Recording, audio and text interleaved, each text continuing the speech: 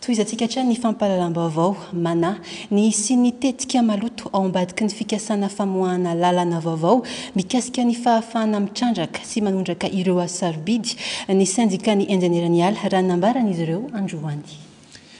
Misy, raha ny nambaran'ny sendika, ny olona mahazo tombontsoa manokana amin'io fanondranana ireo hazo sarobidy ireo. Tsy mazava hatramin'izao, hoy izy ireo, ny fitantanana ny vola efa naloan'ireo mpandraharaha nahazo alalana hanondrana hazo sarobidy. izay tokony natao tao anatin'ny kitapom-bololampampanjakana manokana, ankoatra ny famoahana ny lalàna fampiharana mikasika ny fandraràna ny fanondranana sy ny fitrandrahana hazo sarobidy, dia notankin'ny Sendikàn'ny Injeneran'ny Ala ihany koa ny hanafoanana tanteraka ny fanondranana ny hazo sarobidy amin'izao fotoanan'ny krizy izao. Fanadihadiana avy hatrany.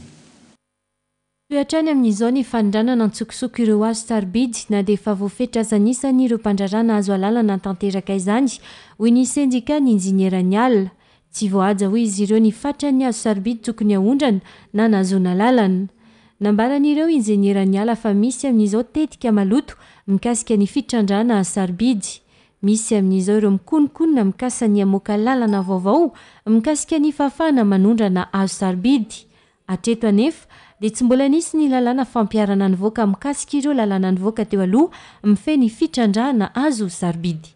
Tokony hampiasaina izay lalàna misy eo am-pelatanana.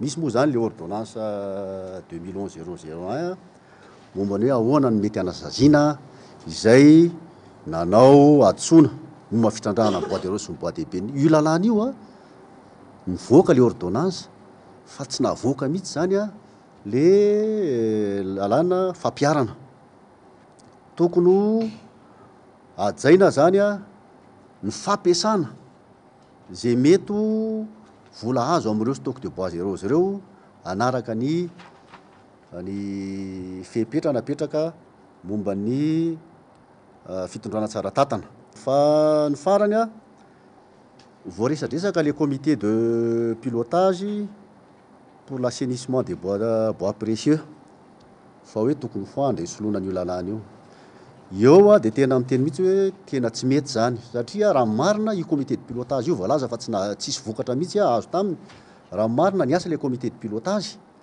fa tsisy aho nitanterahan'ny fanjakana ny zavatra natolony Nomarihin'ny Sendikan'ny Injiniera ny halatra any fa tsy tokony horavana ny komity manokana misahana ny hazo sarobidy izay napetrak'eo anivon'ny Ministera.